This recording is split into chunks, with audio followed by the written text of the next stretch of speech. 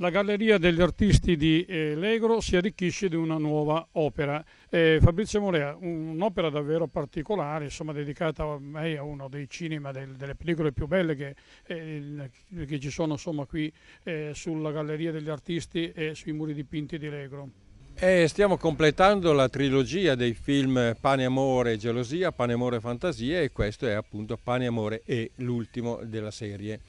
e poi ci sarà quello di Simona Munaro che verrà realizzato in Piazza della Chiesa, ma oggi abbiamo qui la fortuna di avere il professor Solari, Ernesto Solari, che da Como casualmente lo scorso anno scoprì eh, Legro e il paese dipinto e qui ci donato,